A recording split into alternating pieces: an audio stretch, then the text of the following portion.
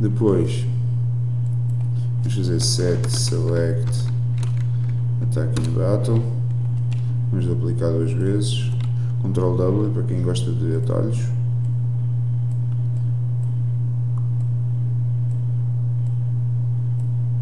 Normal attack, special attack, defense stance. Escolhido, escolhido o ataque, vamos dizer que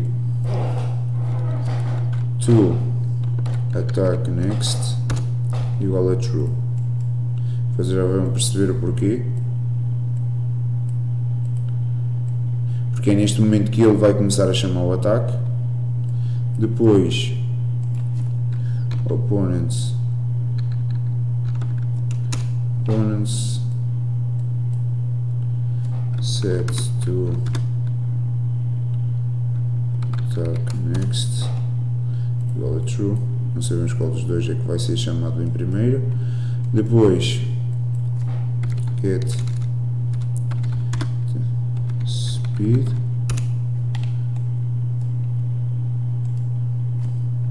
Speed. Se o speed deste for maior que o deste. Fazemos range vão reparar que agora a condição está ao contrário.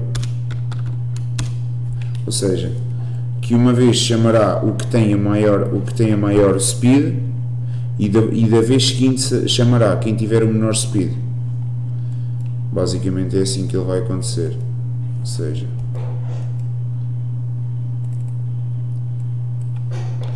deal attack, ou seja, basicamente é este o primeiro, será este o primeiro a atacar, caso contrário será deal attack.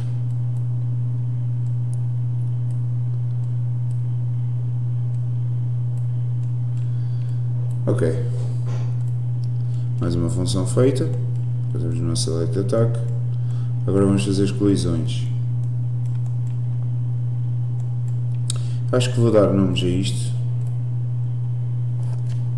Este será o detect e este será o close.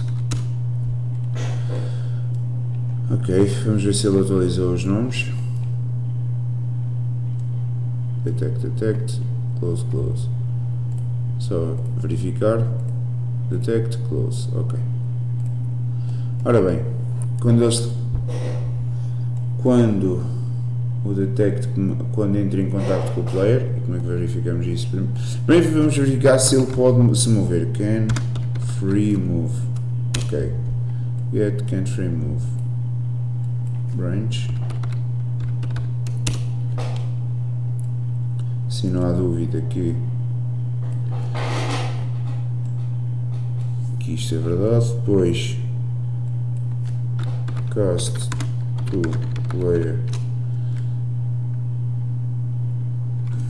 to base player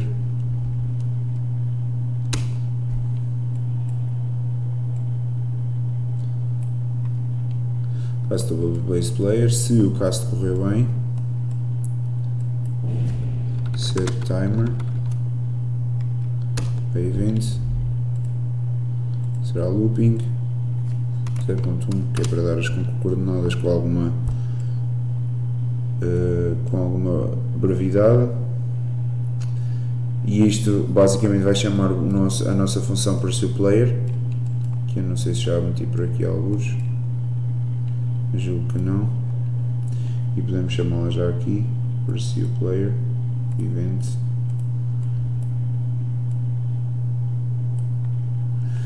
Ok pessoal, vamos atribuir ao nosso pursue handler o devido valor.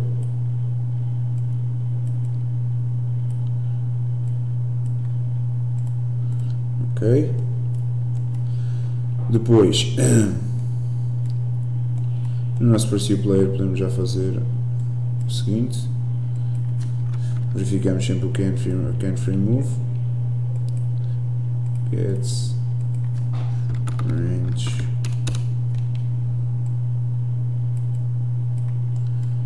Um, depois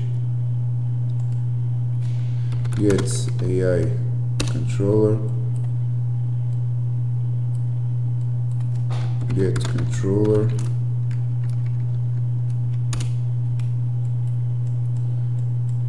E depois move to actor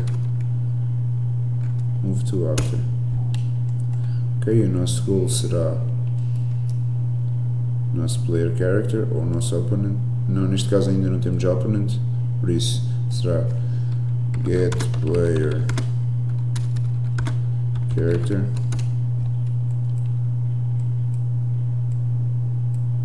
O acceptance radius terá que ser uma coisa mínima? Ok. E ele então com esta função vai começar a perseguir o nosso player porque tem como goal o nosso player character depois disto feito vamos querer fazer o end, o end overlap que segue os mesmos paradigmas basicamente que é free move get branch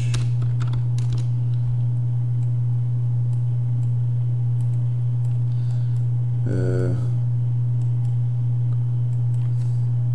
cast cast to base layer huh?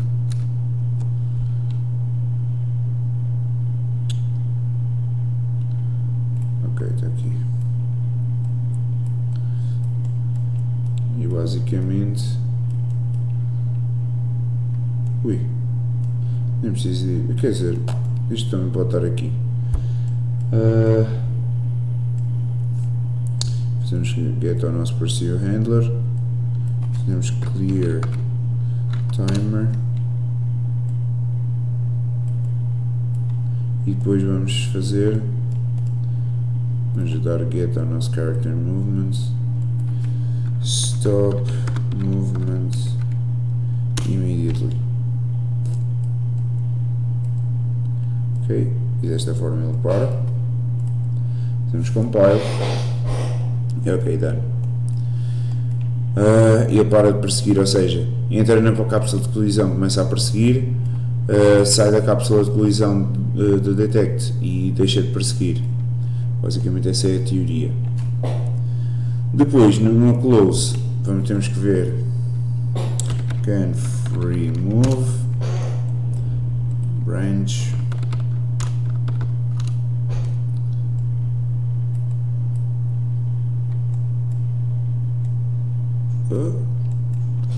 aqui. Ok range depois cast to player. Player base. Temos o cost e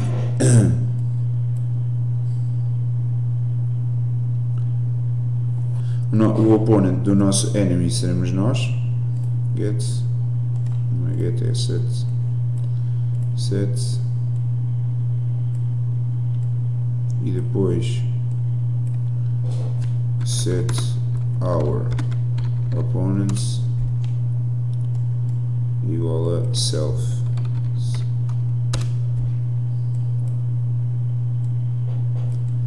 Ok depois vamos chamar o, o Battle Mode para mudar tipo o Battle Mode, ou seja, se ele entra no, no, no Close Range, nesta esfera pequeniníssima, oi, ok, alguma coisa aqui de errado se passou.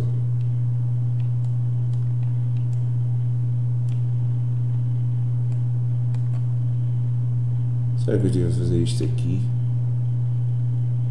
Não.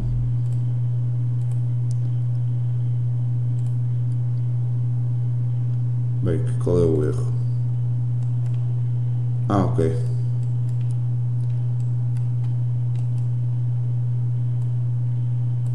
Ok.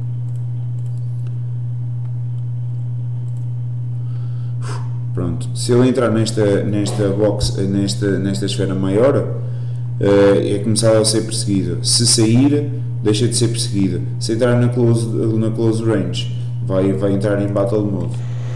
Ou seja, vai acontecer aquilo tudo dos teleportes e afins. Ora bem, vamos chamar o battle mode dos dois, por isso.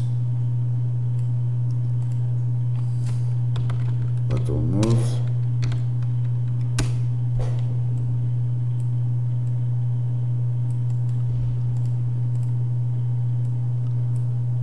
Get. Quer dizer, não posso não fazer isto. Posso fazer isto. Estou aqui a fazer isto num, num local errado. Ui. Estava a fazer isto no local errado. Ui. Ok. Chama o Battle Mode isto. Battle Mode.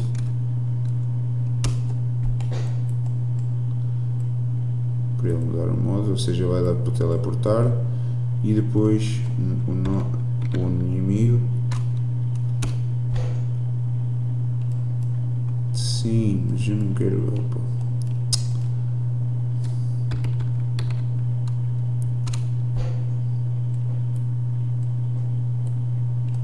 está feito.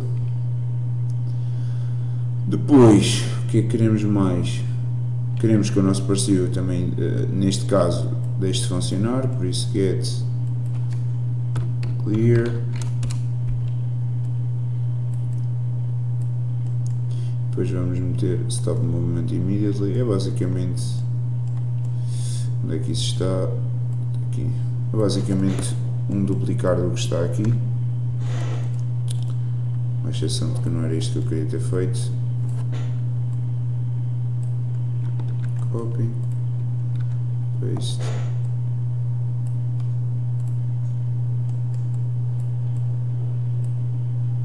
Ok. E pronto, o nosso enemy também já está feito. Bem, isto agora uh, remete-nos à UI temos que agora começar a, a, construir a nossa UI para mudarmos os nossos placeholders tanto no GM como no, no, no player uh, bem, vou só dar uma pequena pausa e vocês vão ver já de, de imediato, mas eu daqui um bocadinho. Ora bem pessoal, continuação, acabamos de fazer o inimigo. Bem, uh, fazendo um pequeno recap, select ataque, ele vai selecionar o ataque. O ataque tinha um range de, uh, temos três, três possibilidades, por isso está de 0 a 2.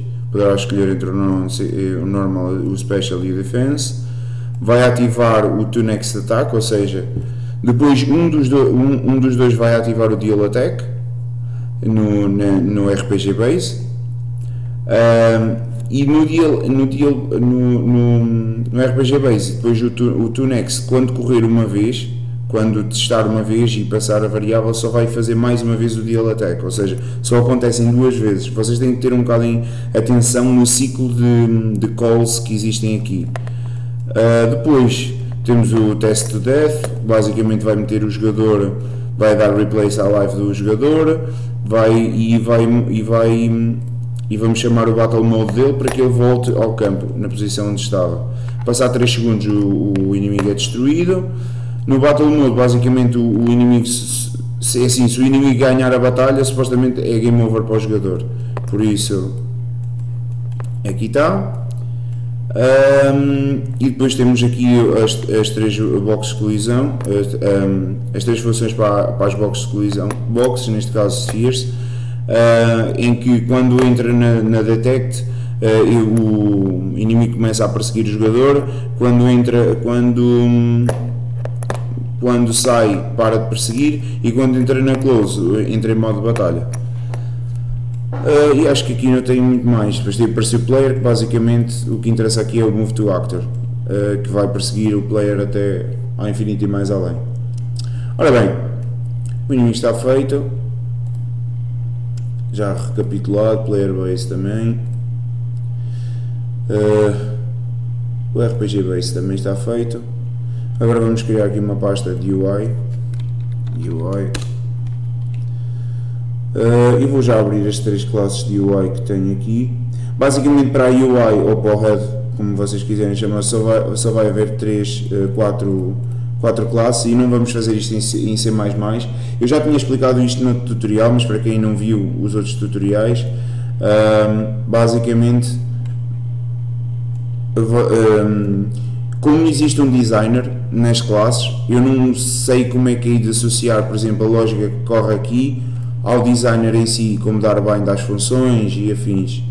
Então eu optei por um, não arriscar e vamos utilizar sempre vamos utilizar sempre estas classes para, para conjugar, até porque até mesmo a maioria dos devs não costumam utilizar o não costumam utilizar o, o HUD hum, em C++. Há, pode haver quem faça, não conheço, mas dos reportes que eu vi e das reportagens que eu pude ler, eh, basicamente todos utilizam uh, blueprints para dar display daquilo que querem dar display. Ora bem, vou já abrir as classes todas, battle, choose class e show stats. Bem, uh, vamos meter isto à parte, porque eu vou querer dividir o ecrã meio. Ok. Vamos minimizar. Vamos voltar à nossa pasta. No caso vocês não têm a pasta de estudo, eu tenho, tenho que utilizar porque não me lembro de, de tudo de cabeça, como vocês já sabem. User Interface, Widget Blueprint, vamos precisar de 4, por isso duplica. Oi? Seleciona os dois, duplica. Depois vamos dar nome. Vamos já fazer Game Over, Game Over Tut RPG. Uh, e com isto podemos já ir à Player Base. Já podemos ir à Player. Quer dizer, vamos dar nome a tudo. Rename. E este será o Battle. Uma coisa que eu costumo fazer, mas agora não estou a fazer. Mas normalmente convém meter algumas umas iniciais para ser mais fácil de nos orientarmos. Cancelar. Uh, ora bem, costumo ter umas iniciais, basicamente WG do widget e depois então o nome. Uh, depois vamos aqui a rename WG underscore battle tudo. Depois rename WG underscore este será show stats tudo. E este será wg underscore. Qual é que era? Choose class. Choose class. Ora bem pessoal uh, vou abrir já os quatro se bem que eu preferia já mudar já os placeholders para não me para não me enganar ou esquecer Bem, nós sabemos que temos tanto no GM,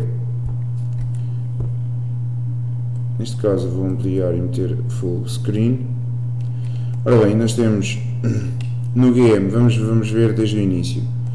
Uh, no event Begin Play temos o Game Over, não é isto que nós queremos, então nós queremos que ele selecione Choose Class. Choose Class, ok. Um,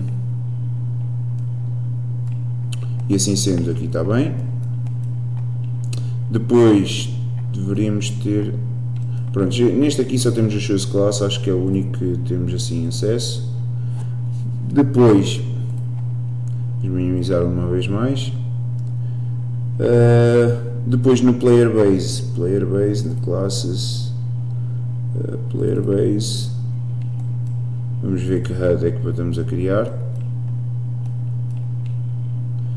Uh, neste caso, test event death é verdadeiramente o game over. Ok. Complete.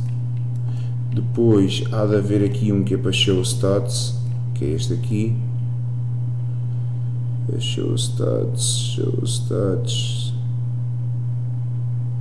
show stats tudo.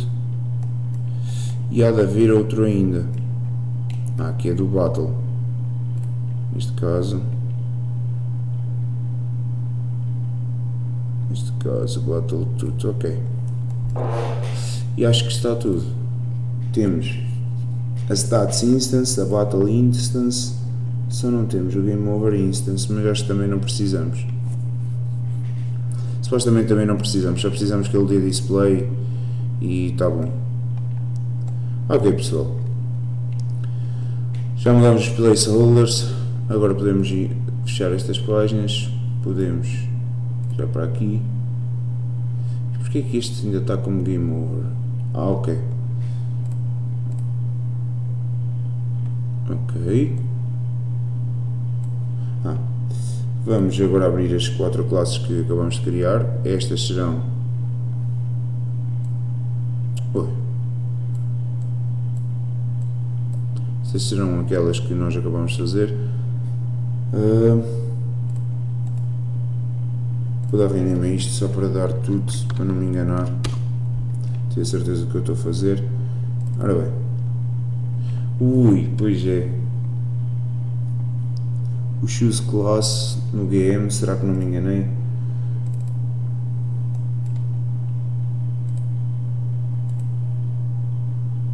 shoes class tudo ok, só para ter certeza, não vai isto dar trilha. Ok. Pronto, sim não há o que enganar.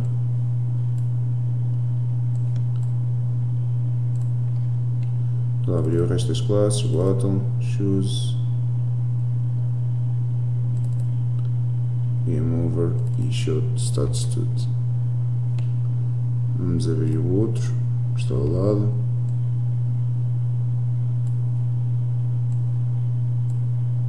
Tudo. E tudo, ok. Bem, o mais fácil deles todos é mesmo o game over. Não tem muito que saber, é mesmo só um texto. Por isso vamos já fazer o game over Ora bem, e o game over será hum, text, text, text, text, está aqui. Okay. Vamos uh, meter uh, o ponto de, de, origem no centro, centrar isto, meter 0.5, 0.5, ok? E é tão simples como meter Primeiro vamos dar size do content, está aqui, e vamos meter game over, aqui podemos dar espaço, over, e depois vamos aumentar o tamanho para 100 talvez, ok, parece-me bem, e assim sendo já temos aqui o nosso screen game over, not Nada de fancy, basicamente para despachar. Ok. Uh, qual é que será o segundo mais fácil? Uh, choose class, maybe. Show stats. Show stats também é fácil. Uh, ora bem. E assim sendo, o show stats também não precisamos de nada muito fancy. Precisamos só de um texto. Not this. Just this. Não precisamos de texto nenhum aqui. Show stats, text, graph, ok. E aqui vocês podem ver um bocado da complicação que foi feita. Isto em, em blueprints e depois isto a extrair, ok, não, não. Uh, este de C++, não. Este de blueprints e este de C++, assim é que é. Ok pessoal. E assim sendo vamos meter a nossa âncora no canto. Vamos lhe tirar a posição que ele ganha por defeito. Ok podemos lhe dar 0.5 em y só para ficar mais bonitinho. Ok e aqui não precisamos muito mais. Vamos adicionar uma função para que vai tratar do texto desta, desta text box. E o que é que vai acontecer? temos aqui o, a função podemos dar, podemos dar rename a ela. Podemos meter um, shows stats get text whatever. Serve perfeitamente. Ora bem, a primeira coisa que vamos fazer é get player. Character. E como nós sabemos estamos, vamos manipular um cast to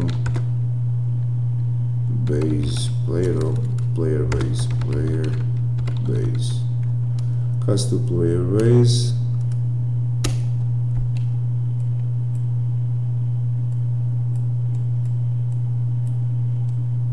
estou a estranhar este aqui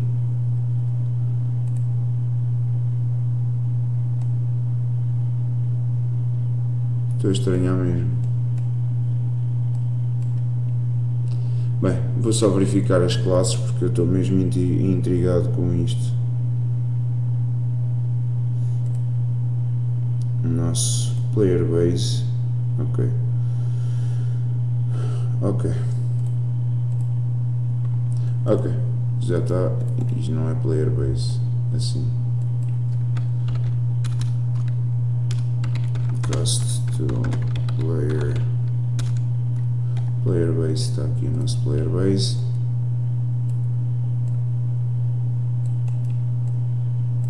seja quando nós estivermos a fazer em blueprints uh, o, o, o cast vai passar por aqui e tudo direitinho. Se não passar nós vamos fazer o cast para C++ é basicamente se não dá um é o outro.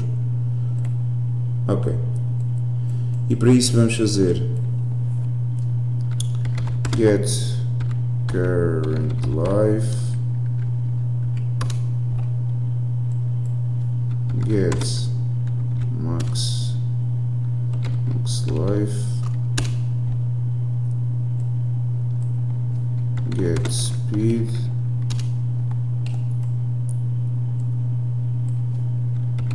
Get defense.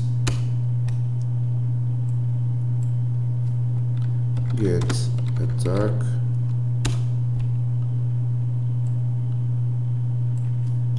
Get level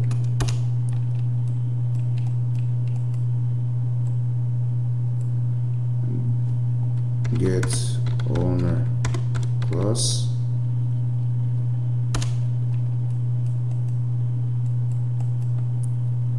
e mais e é só isto penso eu. Depois o que é que vamos fazer? Vamos transformar isto to string. String. String to text. Depois append.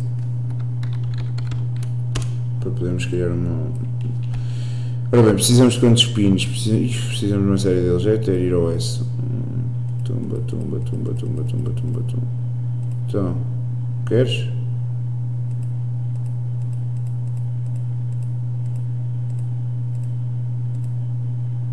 paste S, ok. O que é que vamos fazer? Uh, outra coisa que vamos precisar uh, fazer, sei lá.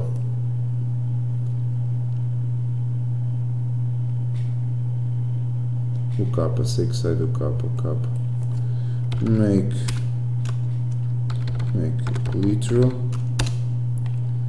E o que é que isto vai representar? Isto vai nos representar um vá, um enter e como é que nós fazemos isso?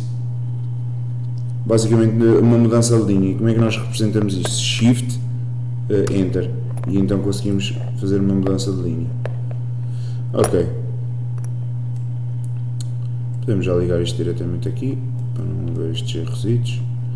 Uh, e a primeira coisa que vamos fazer é HP, dois pontos de espaço, vamos ligar a nossa current life, vamos lhe dar uma barrinha e depois da max life é isto e vamos acrescentar